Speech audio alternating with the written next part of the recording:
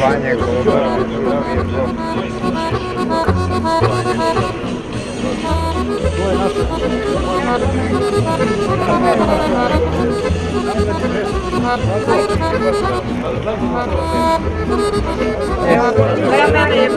Evo, izvolite. Evo, izvolite da zasadite da znate da politika nije samo ove priče i ostalo да кажем, из народа, из базе, што биде. Нема, е, тоа е проблем. Ке зна некој да нема одговор по нас. Кој е за тебе? Иван, ја, ја, ја, ја, ја, ја, ја, ја, ја, ја, ја, ја,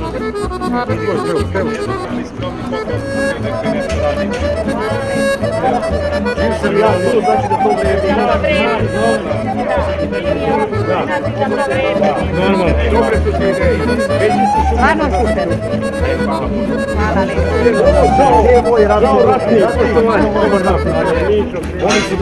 Mi radimo podelu ljudima semena, da mogu makar da zasade bašte i da to bude nešto što će ostati kao trag iz ove kampanje. Imajući u vidu da svi drugi samo pričaju prazne priče, mi hoćemo da se, da tako kažem, narodu obratimo konkretnim stvarima, zato što je državi neophodno da započne neku proizvodnju, zato što je državi neophodno da pokrene sve one svoje kapacitete koje ima. Thank